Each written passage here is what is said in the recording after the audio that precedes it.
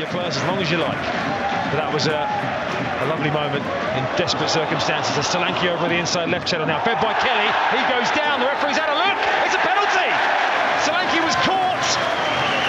And the referee, Mr. Brooks, has pointed to the spot as the challenge came in from Turton. And Bournemouth had got themselves a spot kick.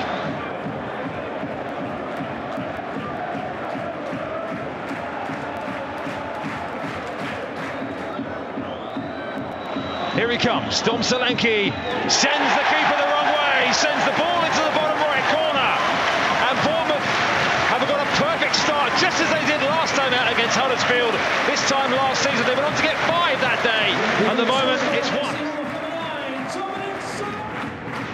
Since their relegation, as Christie knocks it in towards Billing, knocks it down for Dom Solanke. Lovely link up, smashing finish. Cherries go two clear with 20 minutes on the clock, and Dom Solanke hits 10 league goals for the season. Beautifully crafted, expertly finished. 2 zip. Yeah, absolutely fantastic goal. Great build-up, great header by Phil Bill, right back into Dom's path.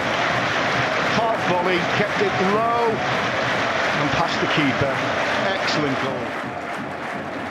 Out to the left-hand side of the penalty. Anthony feeds Ryan Christie now. Christie's ball towards the back post. This time it's volleyed down, and this time it is in, and it's Lloyd Kelly, the captain. A left-footed volley at the back post, and the Cherries surely have killed this one off with a third goal. More than a quarter of the game still to play, but the Cherries move surging clear of Huddersfield thanks to their captain, Lloyd Kelly. Well, it was from a set play. It didn't quite pan out as it was supposed to. In the end, it was a good strike by Lloyd. They got the, the ball across the net.